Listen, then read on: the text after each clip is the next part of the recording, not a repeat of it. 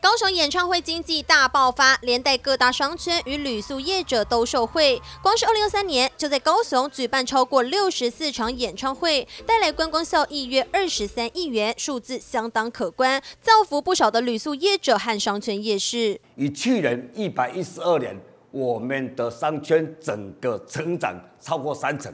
尤其是夜市，他们收费最多，他们把整个高雄夜经济都带动起来。演唱会对于相关产业带来许多正面效益，但是在会场周边的居民则是感受不到太多的收益，反而因为噪音、震动和交通，让不少人抱怨连连。该挡的地方他没有挡到，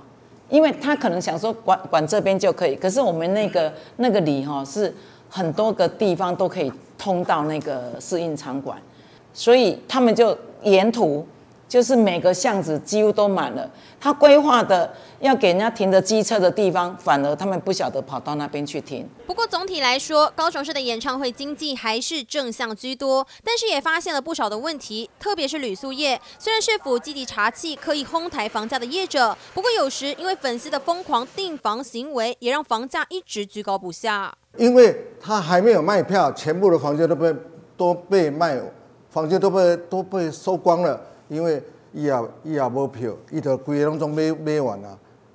为什么？他怕没有房间。那其实是错误的。到最后呢，国外客人要订的，就他有买到票，真正有买到票要到国内来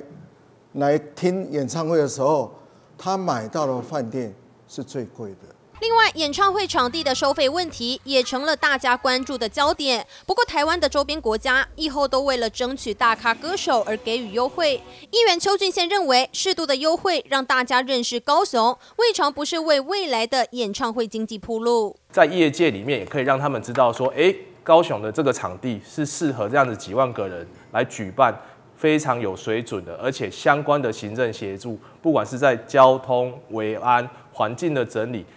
配套的这一些相关措施，好，都可以让这一些来举办演唱会的这些公司或者是团体，能够能够呃比较有省力的方式，可以在高雄能够顺利举办。随着一场又一场的演唱会在高雄成功的举办，不断挑战乐迷最高的到场人数，演唱会经济的效益已经不容忽视，不但能为高雄带来人潮与商机，更能让大家看见高雄的软硬体实力。借高雄综合报道。